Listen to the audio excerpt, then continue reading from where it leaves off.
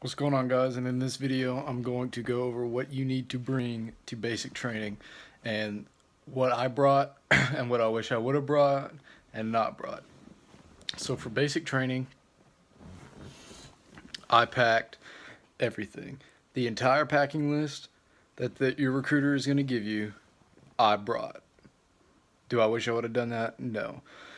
So basically on the packing list, you know, it's an entire change of clothes, pins, all that crap. Um, you know, you're going to get the packing list and if you're about to leave, you know exactly what I'm talking about. But um, what you need to bring, what I would bring is nothing. Absolutely nothing. Because here's what's going to happen.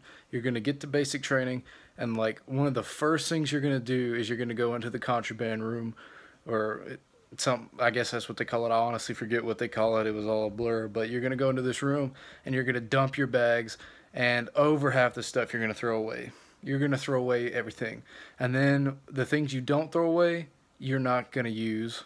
You're not gonna use it. The civilian clothes you brought, you're not gonna use them. They're they're gonna get put away as soon as you get to basic training.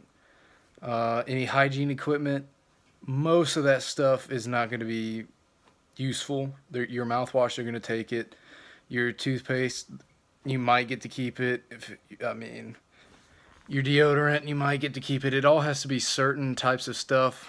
Um, you're gonna throw stuff away that you didn't even know was contraband, or you're gonna be scared like I was. Like, oh, if I keep is this contraband? I'm just gonna throw it away just in case. There's only one thing that I would bring to basic training. Everything else you can buy. There's one thing that I would bring to basic training, and that is cough drops. I would bring as many packs as you, not as many packs, but I would bring four or five big bags of sugar-free cough drops because sugar-free cough drops are like currency in Army basic training, and you'll know what I mean when you get when you get there. But once you get to basic training, you can only you go to the PX every other week, and you're allowed to buy one bag. So there's 25 drops in a bag, and you can think there's 14 days in between each bear each PX run. And you're gonna run out and you're gonna want cough drops. You're gonna want a snack. You're gonna use them like candy. You're gonna use it as money and they go fast.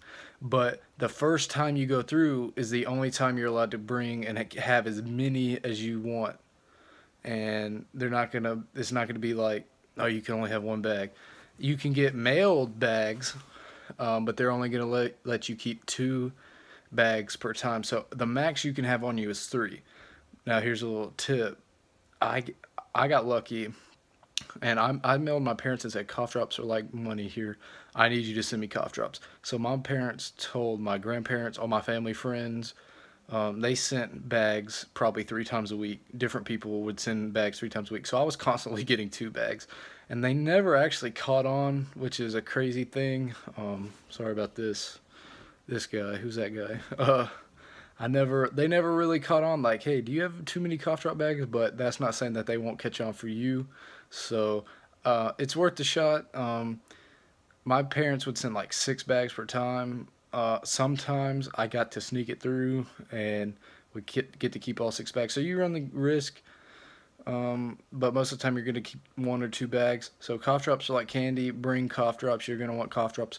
Everything else it's just going to be more stuff you got to carry around. You're going to have to hold that heavy bag and for a long time. It's really just not even worth it. So honestly, don't bring anything. You don't need it. You don't even need a change of clothes.